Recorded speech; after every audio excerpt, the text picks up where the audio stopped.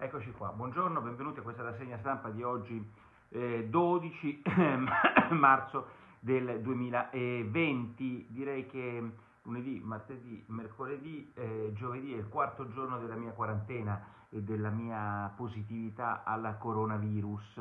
Ehm, qualche piccola informazione di servizio perché obiettivamente molti di voi me lo chiedono e non riesco a rispondere a tutti quelli che mi scrivono sulla mia eh, pagina mh, sul mio sito internet nicolaporro.it. Eh, la situazione è molto semplice, la mattina mi sveglio bene, sto benissimo come vedete, nel senso che ho 37 di febbre, niente di che eh, preoccuparsi, faccio la mia colazione, controllo mio, la mia saturazione che dovrebbe essere sempre intorno a 96, 97, vediamo ora come stiamo messi, adesso ve lo dico. Eh. Adesso guardate qua che sta per uscire, cosa esce? Esce 97, poi come vedete purtroppo eh, poi scende velocemente, eh, ma no, è rimasto a 97, quindi meglio di così eh, si muore. Però dopo eh, passano un po' di ore e, e la questione peggiora e, e, quindi mi trovo nel pomeriggio sotto un treno, sotto un tram, come ho detto oggi in un'intervista al giornale, e non riesco più molto bene a connettere eh, però la mattina ho queste due o tre ore di lucidità, quindi me le tengo vicine e con voi apro questa pagina che voglio continuare a tenere aperta perché eh, le cose devono andare avanti, fino a quando probabilmente saluto Gabriele, Fabio, Luciano che sono collegati con me in questo momento in diretta, fino a quando ovviamente il virus, come qualsiasi virus influenzale, scomparirà. E nel frattempo ovviamente bisogna leggere i giornali, lo faccio dalla mattina presto e oggi vi ritorno alcune delle mie impressioni che vi dico subito, sono impressioni, eh, mi sembra di essere un marziano, forse per la mia quarantena, forse perché questo virus mi ha dato la testa, io penso di essere veramente un marziano, un marziano. Un marziano perché io penso che è incredibile il fatto, quello che noi stiamo facendo, è incredibile perché, ehm, vedete, eh, la notizia di oggi è che l'Italia è blindata, l'Italia è chiusa, sono stati chiusi i negozi, sono stati chiusi i barbieri, sono stati chiusi ehm, gli esercizi commerciali, i professionisti, c'è gente che vorrebbe chiudere le fabbriche e siamo tutti quanti d'accordo che bisogna chiudere tutto quanto, tutti quanti d'accordo tranne il sottoscritto.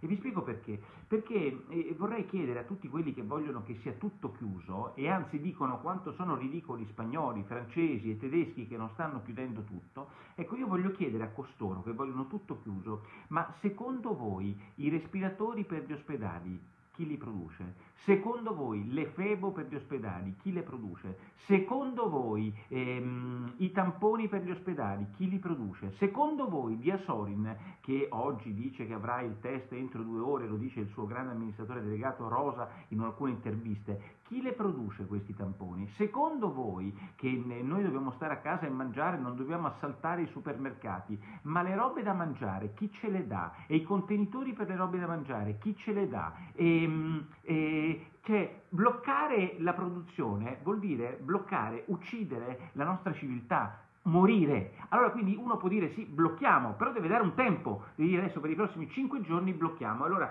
con una persona seria alla guida di questa emergenza dice guarda che se noi blocchiamo il paese per 5 giorni mh, scarseggeranno eh, fra 3 giorni l'acqua, fra 4 giorni l'olio, fra 5 giorni le scatolette di tonno, eh, fra 6 giorni le flebo, cioè questo è un atteggiamento razionale, invece il nostro atteggiamento è melodrammatico, chiudiamo tutto perché se no il virus, il problema come ha detto più volte la Capua, non è il, la diffusione del virus, è il rallentarlo il più possibile perché non vengano eh, presi d'assalto gli ospedali, che peraltro sono già presi d'assalto. Vabbè, comunque, questa roba che io vi sto dicendo ovviamente non è considerata eh, tale dal 99% dei commentatori, il Fatto Quotidiano oggi, che è diventato veramente, siamo in perfetto mincul pop d'altronde, poteri forti del... siamo in coprifuoco, no? C'è qualche dubbio che ci sia un coprifuoco? È un coprifuoco che in realtà a differenza del coprifuoco vale sempre, dalla mattina fino alla sera, quindi non un regime, più che un regime, è il giornale del regime, è il Fatto Quotidiano quotidiano che dice è l'ultimo sacrificio e la UE elogia il governo come pure l'Organizzazione Mondiale della Salute. Tutti a elogiare questo governo e voi mi dovete spiegare per quale cavolo di motivo questo è l'unico paese in giro per il mondo ad avere il massimo numero di morti e di contagiati dopo la Cina. Cioè, continuano ad elogiarci, ma io vedo i numeri, è come tu che, non so, elogi quello là che gioca a pallone, perde tutte le partite. Beh, però sei stato bravo, cazzo, eh, sei stato bravo, bravo, siamo bravissimi. E l'altro che se la canta e se la suona è il Presidente del Consiglio, straordinario, che non gli pareva vero di riuscire a trovare da avvocato del popolo essere l'avvocato dell'emergenza. Cosa fa il, il Presidente del Consiglio? Ehm, fa una dichiarazione perché lui mh, mm, si presenta no, come salvatore della patria, il problema non ci crede neanche sua zia che lui è il salvatore della patria, lui è il problema della patria, ma comunque ehm, Conte, eh, gli altri paesi ci guardano, gli altri paesi non ci guardano, sbagliato o giusto che sia, basta leggere i giornali di tutti gli altri paesi, il Paese, il Monde, eh, il Daily Mail, gli altri paesi non ci guardano, soltanto Conte soltanto Winston Conte pensa che gli altri paesi ci guardino. Io non so se fanno bene o fanno male, ma è sicuro che gli altri se ne fottono. Tant'è che noi li critichiamo e diciamo, ah, ma non vi rendete conto che fra dieci giorni arriverà da voi, cosa sicura. Ma il punto è che gli altri se ne fottono, non ci stanno guardando, se ne fottono di quello che noi stiamo facendo. E continuano a fare gli assembramenti, continuano a tenere aperte le cose, chiudono qualche scuola, ma insomma, fanno finta che non ci sia il caso italiano. Ehm, L'altra cosa che dice Conte ieri, che ti dà il senso proprio di, di un regime, del regime, è l'Italia sta dando prova di essere grande nazione. Ma che cazzo dice?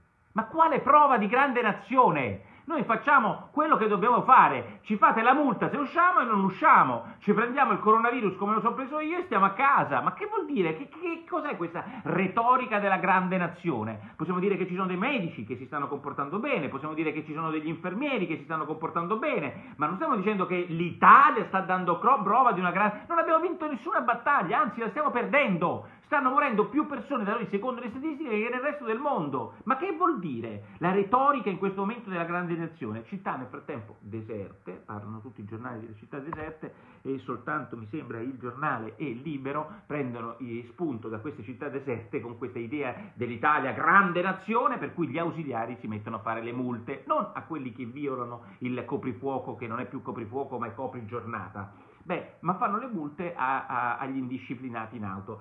Adesso, francamente, è questo il momento di mettersi a fare i rigorosi sulle multe? Insomma, io forse sono dell'idea, sì, che in questo, questo sarà un periodo in cui non, non, avremo i treni che vanno puntuali. Ah, quando c'era Conte i treni arrivavano tutti puntuali, i treni semplicemente non vanno più. Avremo tutti quanti gli ausiliari che multano. Compli, complimenti al gestione ridicola anche di questa vicenda. I tassi di mortalità, vi invito a leggere eh, Danilo Taino, sempre il più serio di tutti, perché sembrerebbe che in Italia c'è un tasso di mortalità addirittura superiore rispetto a quello cinese, ma il motivo è molto molto chiaro perché dice che c'è un paradosso della statistica per cui siccome in Italia ci sono più persone anziane, beh, è inevitabile che le percentuali in Italia appaiano più alte, ma se le vai a dividere per classi di età, le percentuali di mortalità di questo virus in Italia sono molto inferiori rispetto a quelle cinesi. Eh, Gramellini se la prende la giostra dei narcisi ehm, che vogliono fare le minoranze e invece dice lui eh, bisogna credere una volta tanto alla maggioranza. Allora, non ho capito, ma non eravamo un popolo di populisti che stava sempre appresso alle maggioranze, alla vulgata, alla... invece no, in questo caso va bene stare con il lidem sentire che poi la maggioranza la stabilita lui. Io penso che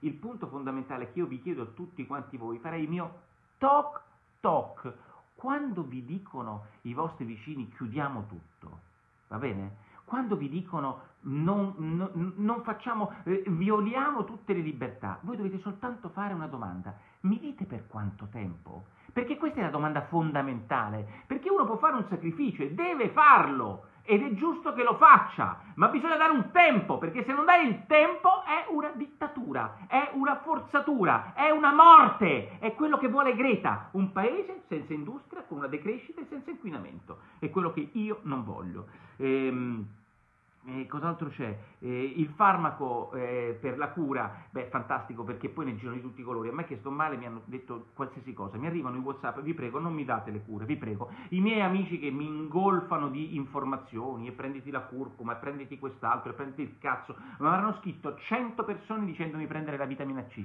Stronzata. Come dice il mio professore Antiseri, che se, eh, sì, Antiseri è il mio professore liberale che mi ha chiamato, non riesco a richiamarlo, a cui voglio bene. Il mio professore ehm, eh, Antinori che mi segue dallo Spallanzani, se c'è una cosa, sì, puoi prendere la vitamina C, ma non è che ti risolve la vita, quello che ti risolve la vita è questo che devi stare da 96-97 e cercare di tenere a bada la, la, la, febbre, cosa che purtroppo la sera non riesco a fare. Eh, il farmaco che pare stiano sperimentando è un farmaco che avevano già provato in Cina e che qualche, mh, mm, qualche, volta è funzionato in Cina e che è funzionato su due casi su sei a Napoli ed è un antireumatico. Questo è quello che sui giornali oggi sta uscendo, ma per il momento non più di questo. E l'unico a, diciamo, a criticare un po' il blocco dicendo che è solo fatto a metà è il messaggero perché dice che le industrie sono fuori da questo blocco e io dico e per fortuna. Una mia amica mi ha scritto una mail, lei c'è una società di costruzione e dice sì, a noi ci dicono di mantenere certe cose, ma ragazzi ma voi vi rendete conto? E nel frattempo se io non procedo con lo stato avanzamento dei lavori, c'è qualcuno che mi dice che non dovrò pagare una,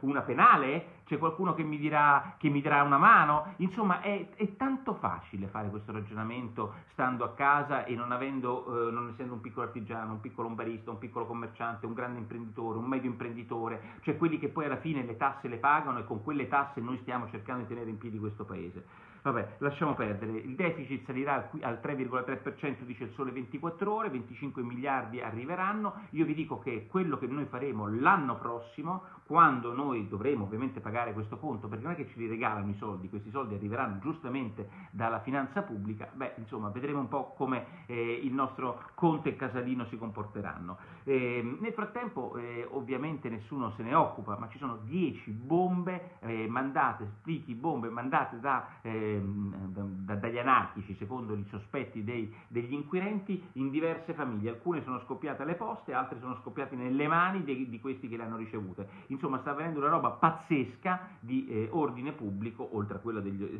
delle carceri ovviamente, di cui ovviamente, visto il coronavirus, non se ne parla. Terza questione di giornata, la condanna di Weinstein, 23 anni. Eh, difesa aveva chiesto 5 anni visto che ha 68 anni ed è malato, il giudice è stato implacabile, 23 anni, e il fratello Bob di Weinstein ha detto vai a farti fottere, tutto il mondo manda a farsi fottere, quello che tutto il mondo fino a ieri eh, riconosceva come il grandissimo Weinstein. È disgustoso quello che ha fatto Weinstein, ma è disgustoso anche tutti quelli che gli stanno vicino e gli sono stati vicini per anni oggi fanno zitti e stanno muti. E dal mio piccolo punto di vista è anche disgustoso l'idea che mh, mm, eh, questa pena esemplare, esemplare no? la pena esemplare sia eh, diciamo, mh, mm, rivolta a un solo uomo, mentre tutto quel sistema l'ha coperto per anni, se questo è quello che eh, dicono i magistrati è avvenuto.